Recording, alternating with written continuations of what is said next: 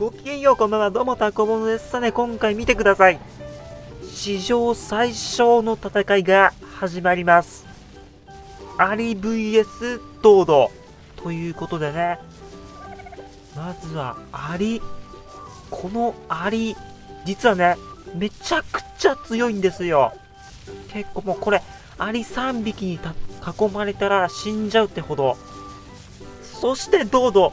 このドードもね、もう現実世界だったらめちゃくちゃ強い。現実世界だったら。ね、あの、この世界だったら一体どうなんでしょうか。戦わせてみたいと思います。では始めていきたいと思います。さあ、まずはドードがくちばしでアリの肉を引きちぎる。これは痛い。ちょっとね、あの、アリがこっち来ちゃうんで、できるだけ離れてみましょう。さあ、ドードが怯えて逃げる。どうしたある程度ダメージを負ったら逃げてしまうのか。しかし戦いに立ち向かった。さすが彼、男だ。おっと？まさか、逃げたドードが勝ったまさかの勝利。アリ、弱かった。ということで、1対1だとドードが勝ちました？次はね、たくさん並べます。この番組はご覧のスポンサーの提供でお送りしますあの伝説の中国版にしか出ないドラゴンをね、やっていきたいと思います。買う前はね、決めていかないと髪型とかもね、出たあのモデルを意識したような歩き方やっていきましょう。さあ来ましたよ。クルーリンパ。うおそ、そっちの回り方もあるのか。ニュータイプのクルリンパ。来るよ。クルリンパ。どうだうわ、やつもニュータイプのクルリンパを出してきた。倒した。クリアしましたっていう、このハンコ。来たよ、やった金メダル取った。オリンピック並み。これ2020年のオリンピックで、で、どうも、タコボンドです。やってきました。さあ、並べました。ではね、見ていきたいと思います。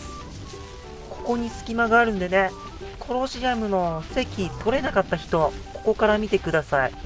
ただ僕はね、ここから見るだけじゃ物足りないんで、ここ通ります。通れました。さあ、来ました。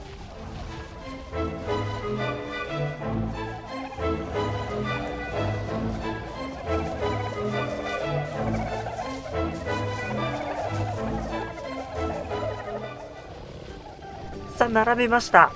およそアリ100体、ドード80体ぐらいですね。それでは、一体どうなるのか、やっていきたいと思います。さあ、始まった。小型戦。すごい、群れがぶつかり合う。うわ、一体、これどっちが勝つんだ？すごい情報が。これ若干、ドードが、やってるような気もするが、ドードが怯える。しかしね、最後の最後で本気を出す男を見せてくれるからね、ドードを。さ、おっと、逃げらながらも、アリを潰しに来る。しかし、アリ、やはり一匹だと弱いけど、団体行動になると強い。まだドードもいるよ。でも結構いる。いやーでも、囲まれたら、これは、あと一匹、こいつだけか。一匹をじわじわ削って、これで終了なんとね、こんな残ってる大量同士の戦いだと、アリが勝ちました。さすがはね、アリ一匹じゃ何もできないけど、力を合わせたら、最強だ、アリ。そんなアリが勝ちました。それでは今回はここで終わりたいと思います。早い戦いでした。